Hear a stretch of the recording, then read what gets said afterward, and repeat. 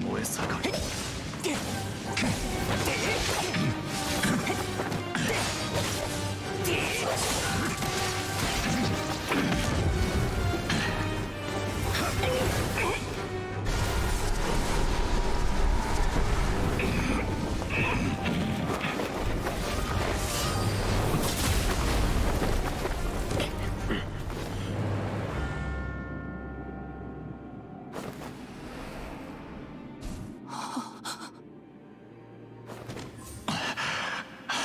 姫様。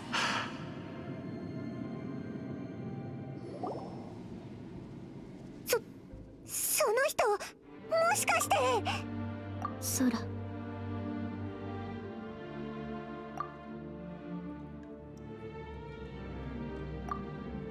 さっきアビスの使徒のために攻撃を防いだぞ。お前の妹さん。アビスと。空どうしてダインと一緒に？え？お前の妹さんダインを知ってるのか？ホタルまた会ったな。どどういうことなんだ？ダインが妹さんの名前を知ってるぞ！空その人と一緒にいちゃダメその人は私の敵。ホタル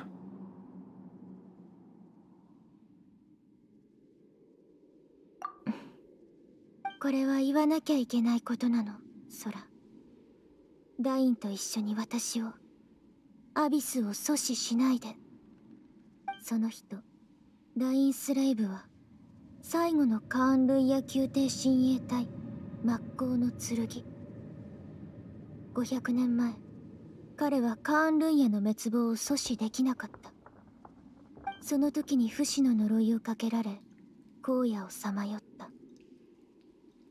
彼が守ろうとした民がアビスの怪物になるのを見ながら。ダインがカーン・ルイヤ人だって？500年前に滅びたあのカーン・ルイヤ人？それに民が怪物になるって。今のアビス教団はカーン・ルイヤと関係があるどころかカーン・ルイヤの移民だったのか。うーい。ダインはお前の敵って何が何だかわからないぞ。いいえ。うん。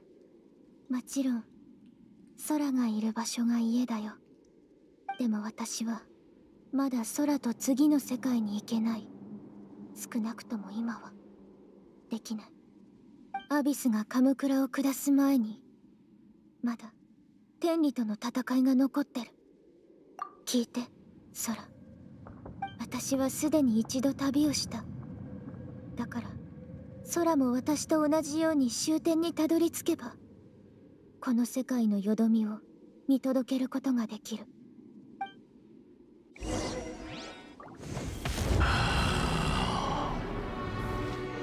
私たちはいずれ再会する。急ぐことはないよ空待つだけの時間が十分にある。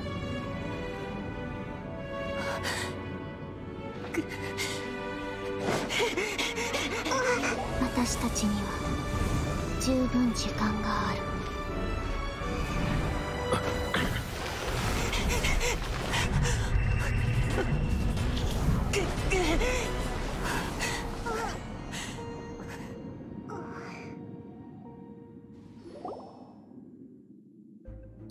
ったぞ。そんなに悲しむなよ。きっとまた会えるぞ。いい方に考えよう。少なくとも手がかりは見つかった。え本当か？とにかく家族を探すためには七神以外にもダインが突破口に加わったってことだよな。ああ。でもあいつらが話してたこと難しかったよな。全部理解できたか？そっか。じゃあもう一回整理しようぜ。